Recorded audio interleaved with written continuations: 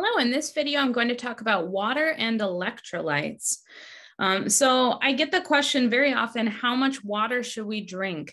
Um, so the answer to that is really that it depends on your body size, how active you are, um, how what is your body composition, like how much muscle muscle to fat, um, where you live. So how hot is it? How humid or dry is it? Um, so in general, I tend to give out the recommendation uh, that you should drink half of your body weight in ounces per day as a baseline. So that's the starting amount of water, and then go up from there to make up for anything you do in your life that is further dehydrating. Um, so, for example, if somebody weighs 200 pounds, then I would say they should be drinking at least 100 ounces of water per day. Uh, and then that's your starting point. and then add to that to make up for alcohol, coffee, exercise, hot weather, um, dry weather, anything like that. Um, so, half your body weight in ounces and up. Uh, so I also recommend for most people, a gallon is a really good goal. Uh, so that's 128 ounces. So even if you're smaller than that, um, so that's not half of your body weight in ounces, um, it's it doesn't hurt to go above and beyond on your water intake. Um, so it's a good goal to reach optimal health, uh, regardless of body size. Um, now, that's not something you do overnight. If you're not drinking a lot of water now, you're not just going to suddenly drink a gallon tomorrow. But if you gradually increase your number of ounces per day with the end goal in mind of getting to a gallon per day, then that would be optimal.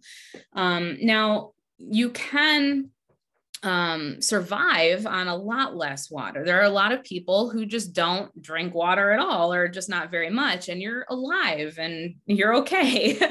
Uh, but there are many, many symptoms in the body, many aches and pains and things uh, that you may not realize are actually symptoms of dehydration that could go away completely if you start drinking enough water.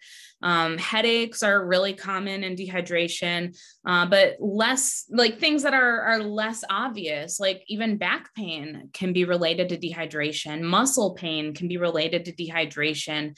Um, think about even just the discs in your spine have a lot of water. There's a lot of fluid content in the intervertebral discs. And as we become more and more dehydrated, that water can get leached out of different structures in the body, like your discs. And so they'll become more and more compressed um, and and kind of shriveled, like they become more raisiny because we're sucking the water out of them. There isn't enough water to keep them as full and robust as they should be.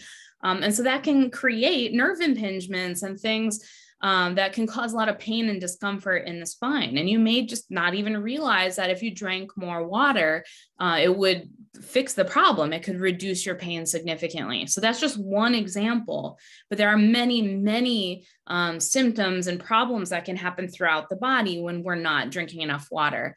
Uh, so you might be surprised if you start drinking a lot more water, you may be surprised at the little aches and pains and dry eyes and all kinds of things that could just go away um, that you didn't realize were related to dehydration.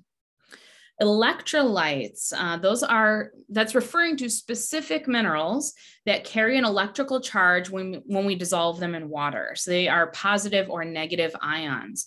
Now, the body needs electrolytes for all sorts of different functions in the body. Um, so, like for regulation of muscle contraction, uh, that includes the heart and that includes skeletal muscle.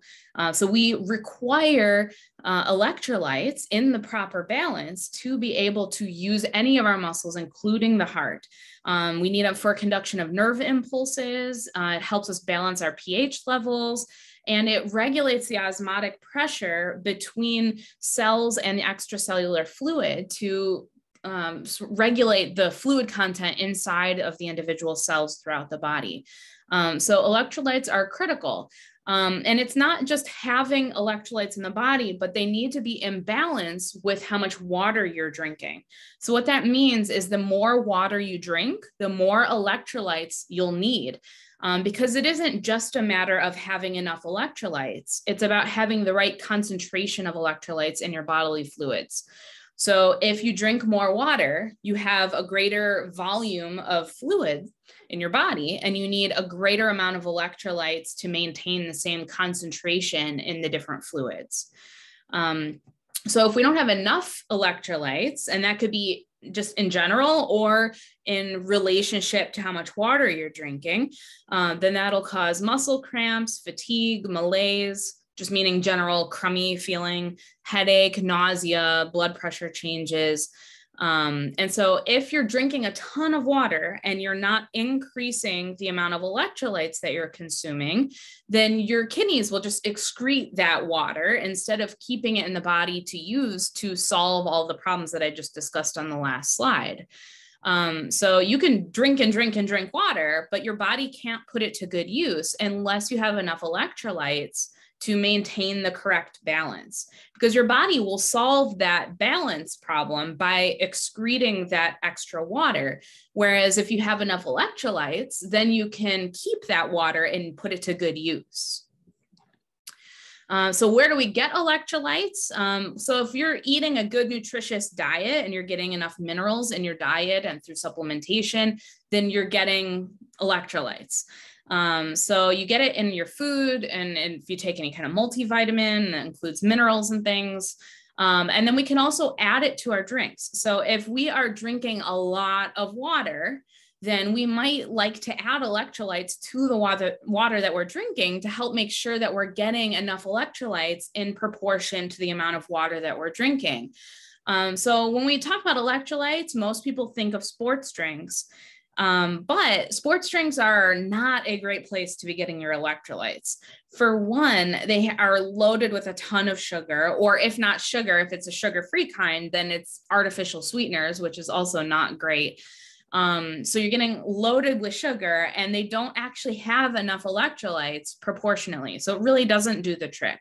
Uh, sports drinks are really only recommended uh, for somebody who's participating in high intensity activity consistently for at least an hour. In that case, it, could be beneficial because then you're also replenishing your sugar. So you're replenishing your blood sugar, um, which supplies your muscles with energy that they need to continue to, to act at the same level. So it's more than just electrolytes. Uh, but it's also the sugar is beneficial in that case. So, unless you are operating at a high intensity level for at least an hour, don't drink sports drinks. Um, I'd rather have a candy bar than than a sports drink if I'm going to choose to have that much sugar. Um, so where do we add the electrolytes to our drinks? That's where lemons, you know, squeezing some lemon juice, some lime, other fruit, things like that. That's where that can really help. There are all sorts of products on the market for adding electrolytes to your water, um, all sorts of little powders and things that you can add. Just be careful of what else is in those powders. Be wary of artificial sweeteners or how much sugar you're taking in. Uh, but as long as you're paying attention to that and and you're you're managing those sorts of features, then those are just fine. Um, but that's why you know a lot of people as you drink more and more water they start to get sick of it you start to go oh this tastes bad i don't want to drink any more water and that's because you're diluting your electrolytes. It's your body's way of saying, no more water. I don't want to drink this anymore because we're flushing out electrolytes and you, you're drinking too much water and imbalancing the electrolytes. So the solution isn't don't drink more water because you can drink more water. The solution is we need to add electrolytes. And that's why it tastes so much better when you put some lemon in or whatever. You add something in that adds electrolytes to your water. And now suddenly you can keep drinking now suddenly that water tastes delicious and you can just drink and drink and drink. And that's because your body is happy now that you're not going to keep diluting your electrolytes, that instead you're adding more in proportion to the water that you're drinking. That's also why we tend to prefer different brands of bottled water. So, like, I prefer one type of bottled water, and my husband doesn't like that one and likes a different one that I don't like. And that's because we prefer the type of bottled water that most closely reflects the electrolytes that our particular bodies are seeking. Um, so we have different preferences in bottled water because different waters have different minerals that are dissolved into that water.